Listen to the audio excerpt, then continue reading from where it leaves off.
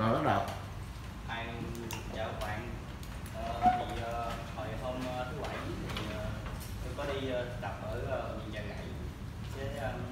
có sự hướng dẫn của anh Linh anh Linh người chú cao K36 ngoài máu làm ở chợ gãy thì sáng thứ bảy tôi bắt đầu đi. Đến bệnh viện là khoảng 9 giờ hơn. Rồi bắt đầu thực tập lúc ừ, 13 giờ đầu giờ chiều thì ờ, đầu tiên vào thì anh Linh có dắt vào mới thay đồ được chứ ờ, bình thường thì vào không vô được đâu. Rồi ờ, theo anh đi hội chẩn với đặt được uh, có anh đặt hai cái um,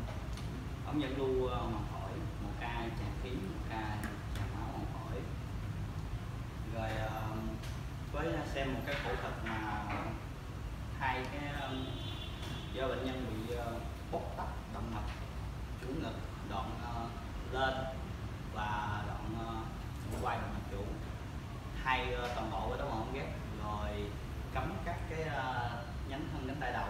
dưới đòn trái là cánh chung trái lại anh làm phẫu thuật cũng còn đoạn cuối rồi tức là gần xong rồi em mới vào anh hướng dẫn cho các cái vị trí giải phẫu ở trên cái phẫu trường đó đó rồi à, ờ, các cái bước mà làm phẫu thuật là đầu tiên là mở bằng lần sau rồi làm phẫu thuật lần sau. Với lại ờ,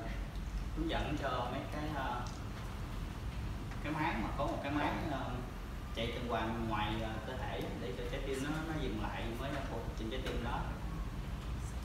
Ờ, cái nguyên lý để cho dừng trái tim lại để trái tim đập lại rồi ờ, các cái thuốc để cho, cho ờ,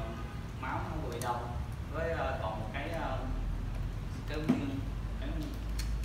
nguyên lý là hạ cái nhiệt độ cơ thể xuống. Giống như là cái con cá mà mình thấy nó bị đông lại á,